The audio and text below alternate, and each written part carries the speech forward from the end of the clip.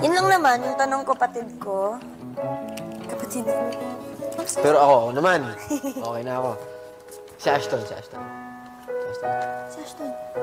Ano si Ashton? Akala ko ba, ano tayo? Oh. Sa, sa tanong sasagot hindi lang. Si Ashton ba? Yung si- Ano si Ashton? Eto, I promise. si Ashton ay isang misteryoso. Pero sa tingin ko, hindi siya yung misteryosong para sa akin.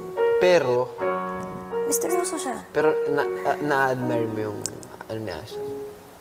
May admiration. Parang ano lang, napaghanga. Siyempre, gusto ko yung misteryoso and nasa kanya naman yung quality na yun. So, pang may paghanga. Oo, hindi lang. Walang pwede. Hindi, ayoko kasing magkagusto sa taong iba yung gusto. Ano lang naman yun? Hindi ko siya... Infatu, ano lang yun, crush lang. Nagkakama Pwede. nga ka lang sa... Pwede siya... As in, Hindi, pwede oo hindi lang. Sa, lang, sa, sa PBB journey nyo, nagustuhan mo ba siya? Na lang. Grabe naman. Hindi, parang hindi naman nagustuhan na parang gusto mo namang... ano- Hindi naman ganun yung ano lang. Yung admi, na, na,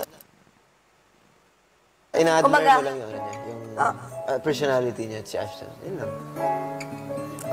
Oo, di ba? Kasi si Ashton naman kasi siya, very ano din. Very calm, di ba? And ano din, chill lang. And misteryoso, di ba?